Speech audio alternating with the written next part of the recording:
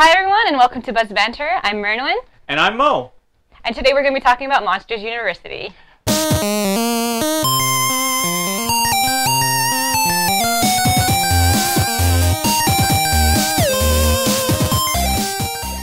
So, we return to the Monsters universe 12 years after the release of the initial film. You have all of the same great cast, along with some new names. Helen Mirren um, playing the Dean, and actually the fun little monster guy, uh, the head of the main fraternity, Nathan Fillion. Really? Yes, I that- was wondering. that was I'm Nathan like, Fillion. was- Yeah, it's like he's Yeah. he's like a subtle but classy jerk, and he's got such a wonderful voice. I wonder who that is. He's and you know that the the arti- the artist, um, Art- he he's played by the guy in Horrible Bosses. Yep. Yeah. Yeah, So that- uh, that- I, I loved his character design. All right, this is one of the huge positive points of the film. All of the monster characters designs from the previous film have actually been upscaled. So you got a lot more imaginative with what makes up their uh, these people's physical features. It's no longer the guy with tentacles just has tentacles. Uh, he also has a batwing mustache. There's an emo girl in it who actually doesn't have hair, but she's got her emo bangs because her head bat wings she just folds over into emo bangs. It's uh, they got really creative with it in this movie.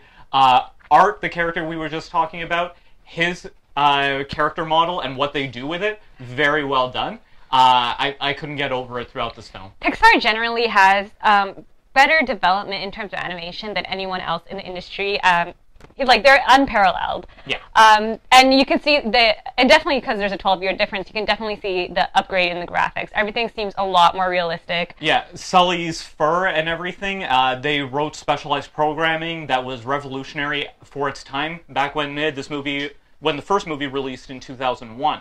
Since then, you see how much they've improved from that baseline. There was this moment, there moment in this film where I, I felt like, oh, you know, this is just such a generic movie and blah blah blah. And you know what moment I'm talking about. But then they turn it around immediately, and I'm like, oh my god, it's, it actually turns out to be really brilliant. It lives up to Monsters Inc. Yes. Uh, you think it's better. I don't think it's better. I don't think it's worse. I think it's parallel. I think it's exactly the same. Fair enough. Despite that, the movie is pretty realistic in terms of its issues Yes. and how they deal with the issues. It's it, it's a feel good movie, but it's not to the point where it's too feel good. Two things I really enjoyed about this movie with regards to the character design. For Sully, usually in these sorts of frat style movies, by about the halfway point or the start of, uh, or about the midpoint of the third act, you have uh, the jock character and the nerd character just go, you know what?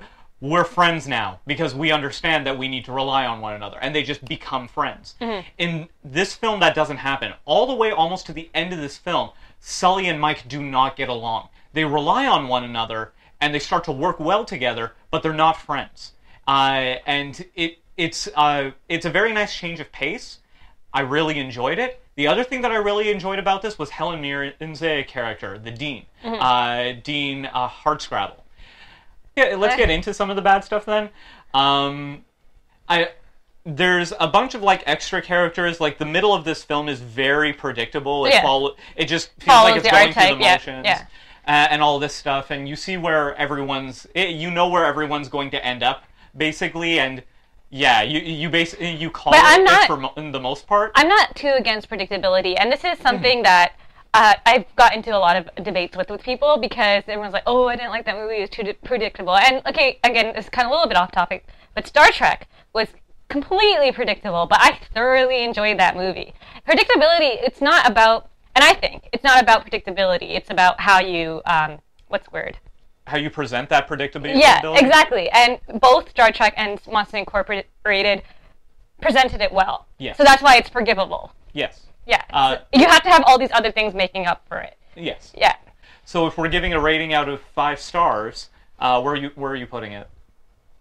Oh, I can't rate movies like that.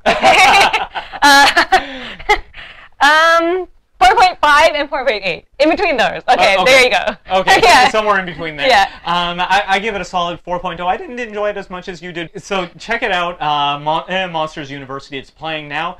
Solid film eh, by Pixar Studios, and uh, actually. We have a podcast now, so you can actually check us out eh, at buzbanter.com.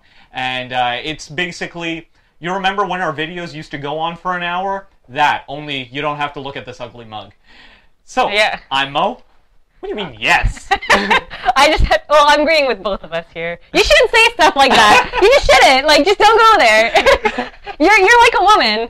You're just like a woman. Just like, hey, no, tell me I'm pretty. Tell me I'm pretty. hey, screw you. I have a fine ass body. Okay, I am Mernwyn. I'll see you all later.